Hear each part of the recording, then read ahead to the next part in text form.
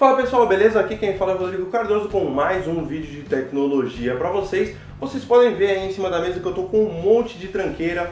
É, esse monte de tranqueira vai me ajudar a esclarecer alguma dúvida, é, algumas dúvidas que algumas pessoas têm é, sobre o consumo de energia do PC. A questão é, o computador gasta energia estando desligado é, você não está utilizando ele, você foi lá, clicou em desligar e saiu, foi embora. Ele gasta energia ou não gasta, ele consome energia elétrica, vai dar diferença na sua conta elétrica no final do mês ou não. Então para isso eu estou usando aqui uma lâmpada LED, uma lâmpada incandescente, essa lâmpada LED é 3 watts, essa incandescente é 100 watts, uma fonte, a placa-mãe daquele computador do projeto, é, do Case Mode, que eu não coloquei, é, não comecei a, a mexer em algumas coisas ainda é, no gabinete. Então estou utilizando essa placa para fazer o teste e uma fonte real aqui a C3 Tech de 350 watts, beleza? Então vamos aos testes. Então pessoal, só para explicar para vocês o que é esse aparelhinho aqui, que né, que está com a gambiarra, um elástico aqui, que tive uma falha, pequena falha técnica, então tive que fazer uma adaptação. Esse aparelhinho aqui, ele é como o relógio da sua casa. Ele vai mostrar várias informações. Aqui ele vai mostrar a potência que está sendo utilizada no momento, né, em watts. É, essa porcentagem aqui, sinceramente, não me lembro agora, não me recordo, mas não é importante. E ele vai mostrar a tensão que está chegando na sua tomada. Então a tomada de 127 volts ela pode variar entre 110 e 127 volts, que está dentro dos padrões aí, tá? E ele também ele vai registrar todo o consumo durante o tempo que ele está ligado. Então ele está ligado aqui a 2 minutos, o consumo que passar aqui, ele vai registrar. Esse número aqui podem ignorar, podem esquecer, porque eu, eu utilizava ele antes, então ele está com um registro aqui, eu não zerei. Então vamos à parte importante que é o consumo aqui em tempo real em watts. Tá? Vou ligar essa lâmpada LED que ela tem um consumo nominal de 3 watts. Olha lá, está gastando 2 watts e meio, 2.5 watts. Beleza? Apertar aqui só para acender o display, não sei o que é melhor para vocês verem aí. Não sei como que a câmera vai captar isso. Vou desligar aqui, ele vai zerar. Eu vou ligar essa lâmpada é, incandescente de 100 watts. Ela está consumindo aí 87 watts. É, aqui era para estar tá dando 100 watts teoricamente? Sim, teoricamente ela consome 100 watts. Pô, Rodrigo, mas aqui está dando 80 e poucos watts. Pode estar tá marcando errado ali, pode ter um erro? Pode, mas a lâmpada também pode consumir menos. É, eu não tenho nada no momento que consuma um valor exato, mas essa variação ela pode existir tranquilamente. O que importa é que aqui a gente vê que ela tá, tá com consumo de 80 e poucos watts e essa lâmpada aqui teoricamente consome 3 watts, ela dá 2 watts e meio, certo? Tranquilo? Agora vamos à próxima etapa. Deixa eu só ver se dá para mostrar para vocês. Não sei se a câmera vai pegar, mas aqui lâmpada de 100 watts, tá? Agora vamos ao teste com a placa-mãe. Não, não, não vou eu não ia colocar um computador inteiro aqui, né? Então eu coloquei só a fonte, a placa-mãe, conector ATX ligado, alimentação do processador e já vou falar, é, fazer uma observação para o pessoal, quem entende o que está acontecendo aqui. Pô, Rodrigo, isso aqui está no lugar errado. Isso aqui, esse conector aqui é, do cooler do processador deveria estar em um conector aqui atrás. Mas essa placa-mãe do projeto aí do Case Mode, da reforma do, de um computador que eu vou colocar para minha mãe, ele, ele tá com um problema aqui no controlador PWM. Então o que, que acontece? Quando eu ligo, ele dá uma girada e para. Quando eu vou desligar a máquina, ele gira novamente. Então o que, que eu fiz? Desabilitei a segurança é, do, da falha de cooler ali e mudei aqui pro, é, pro, pro conector do fan do gabinete, tá? Então a placa funciona, não tem por que eu perder a placa só por causa disso. Então vamos lá ao teste. Coloquei aqui é, um switchzinho, um, um botão no botão aqui no conector da placa para ligar e um LED só para vocês verem se está ligado ou não. Então agora está apagado, está desligado, inclusive a fonte está na posição de desligado aqui e a potência está gastando aí 0 watts. Então eu vou simplesmente ligar a fonte, tá?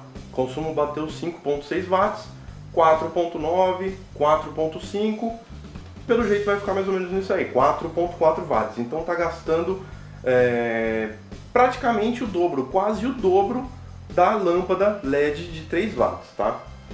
é, dando esse exemplo porque vou passar algumas considerações aí. Então 4.3 está oscilando.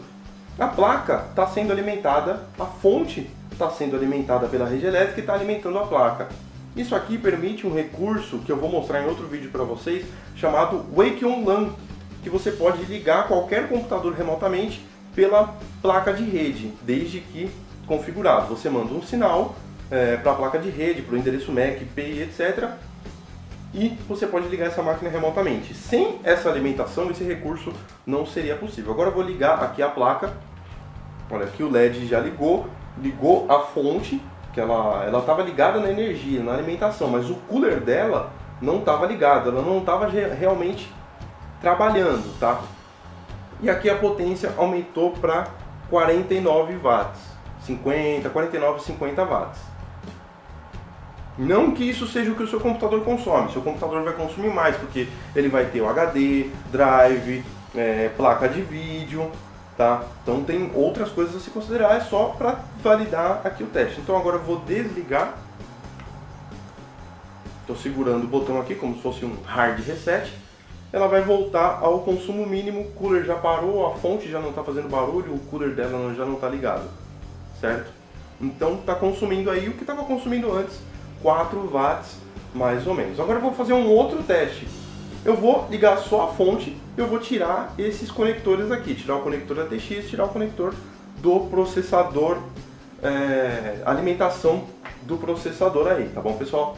Agora sim, todos os cabos desconectados, como vocês podem ver, a placa-mãe não, não, não tem alimentação nenhuma e a fonte está aqui na posição de desligada. Eu vou ligar somente a fonte agora deu um pico ali, bateu 39 watts e ela estabeleceu aí, está em 3.3, 3.5 watts mais ou menos.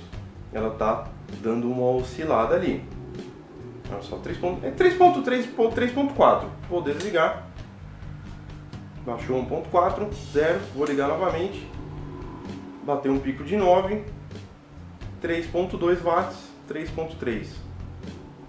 Desligar novamente porque eu quero mostrar aqui ver se ela vai dar um pico alto novamente. Ela não deu pico mais. Deu 3.9 ali, 3.3, 3.9, basicamente acima de 3 watts. Então, comparando a fonte ligada na energia sem nada ligado, a chave dela aqui está como ligada, ela está recebendo energia. Mas sem ela estar tá ligada, sem estar tá alimentando nada, ela gasta mais do que aquela lâmpada LED branca que eu mostrei para vocês. Então, assim, dependendo é, da sua situação financeira, assim, teoricamente, teoricamente não, literalmente, isso pode fazer diferença. Porque manter uma fonte, qual a vantagem que eu tenho de manter uma fonte simplesmente ligada na tomada? Nenhuma. Ela não ilumina, ela não, não liga nada para mim, ela não alimenta nada. Então ela está gastando mais que uma lâmpada que poderia estar sendo útil. Então, se essa fonte ficar ligada 12 horas na energia, ela vai ter um consumo maior do que 12 horas de uma lâmpada LED de baixo consumo de 3 watts ligada na energia. Então, a lâmpada vai ter muito mais utilidade, tá? Então, o que você pode fazer para economizar essa energia e utilizar ela em outra coisa? Porque, por mais que a energia seja baixa, por mais que o consumo seja baixo, ao longo de um mês se você utiliza o computador 12 horas e 12 horas ele está desligado, são 12 horas gastando 3.3, 3.5 watts, isso dependendo muito da sua fonte, tá? Se você tiver uma fonte assim, com o switch atrás, você pode desligar a máquina e simplesmente desligar a, a, fonte também, desligar nesse switch aqui atrás, que é menos trabalhoso do que você tirar o cabo. Na verdade, não é ideal tirar o cabo por uma questão de desgaste. Vai ter o desgaste do cabo, vai ter o desgaste do conector da fonte e etc. Então, só a chave liga e desliga ou uma extensão, se você tiver uma extensão não, na verdade um filtro de linha. filtro de linha é o que tem fusível e uma chave de liga e desliga. Vai fazer diferença na sua conta de energia elétrica. Então, dependendo da situação, do aperto que você estiver aí, pode fazer uma boa diferença, tá pessoal? É, bom, se, se alguém tiver alguma dúvida em questão à lâmpada LED, eu vou colocar aí na descrição do vídeo é, um vídeo que eu tenho sobre lâmpadas LED. Você pode fazer qualquer discussão aí, qualquer pergunta nesse outro vídeo, que é um vídeo de outro canal. É, e eu vou colocar outras coisas aí na descrição tá? Não esqueça de dar uma conferida aí no, no vídeo que eu coloco depois do vídeo, no finalzinho. Se você gostou do canal, dê um like. Se você gostou do vídeo, dê um like no vídeo, se inscreva no canal e etc. Então eu fico por aqui, até o próximo vídeo, um abraço e tchau!